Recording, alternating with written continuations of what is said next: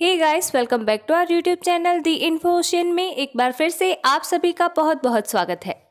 शास्त्रों और पुराणों में भगवान शिव का निवास स्थान कैलाश पर्वत बताया गया है, जिसके साथ साथ भगवान विष्णु का निवास स्थान क्षीर सागर बताया गया है।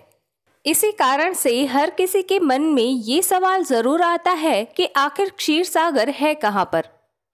विष्णु पुराण के अनुसार हमारी पृथ्वी सात द्वीपों में बटी हुई है। ये सातों द्वीप चारों ओर से सात समुद्रों से घिरे हुए हैं। इस कारण से हिंदू मान्यताओं और ग्रंथों के अनुसार भगवान विष्णु और देवी लक्ष्मी क्षीर सागर में निवास करते हैं। विष्णु पुराण में मिलने वाले उल्लेख के अनुसार क्षीर सागर को दूध का सागर कहा गया है। क्षीर सागर को भगवान विष्णु के निवास स्थान के साथ साथ उनका शयनागार भी कहा जाता है। पुराणों की माने तो क्षीर सागर की एक परिक्रमा करने वाला व्यक्ति उसके एक जन्म में किए हुए पाप और कर्मों के बंधन से मुक्त हो जाता है। जो भी व्यक्ति इसकी दस परिक्रमा कर लेता है, उसे दस हज़ार जन्मों के पापों से मुक्ति मिल जाती है। इसी के साथ क्षीर सागर की 108 परिक्रमा करने वाला व्यक्ति जीवन और मरण के चक्र से मुक्त होकर मोक्ष प्राप्त करता है। माना जाता है कि क्षीर सागर भगवान शिव की जटा से निकलने वाले गंगा के वेग से निर्मित हुआ है। कहते हैं कि भगवान शिव के निवास स्थान यानी कि कैलाश पर्वत से करीब 40 किलोमीटर की दूरी पर क्षीर सागर मौजूद है। इसे मानसरोवर झील के नाम से भी जाना जाता है।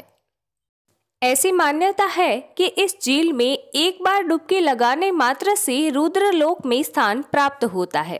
कैलाश पर्वत की यात्रा के दौरान मार्ग में ही ये सरोवर पड़ता है। अर्थात पृथ्वी पर मानसरोवर झील को ही क्षीर सागर माना गया है। हालाँकि भगवान विष्णु बैंकुट लोक में निवास करते हैं, ऐसा हर एक पुराणों में लिखित है। इस कारण से ये तर्क भी लगाया जाता है कि क्षीर सागर बैंकुट लोक में ही मौजूद है। लेकिन पृथ्वी लोक पर शिव के निवास स्थान, यानी कि कैलाश पर्वत के मार्ग में आने वाला पवित्र मानसरोवर झील ही क्षीर सागर के नाम से प्रसिद्ध है। पुराणों में वर्णित इसके महत्व के कारण आज भी श्रद्धालु इस झील की अपनी योग्यता के अनुसार परिक्रमा अवश्य करते हैं। दूसरी ओर ये भी माना जाता है कि पद्मनाभ स्वामी मंदिर के सातवें दरवाजे के पीछे भगवान विष्णु क्षीर सागर में शेषनाग की शैया पर विराजित है।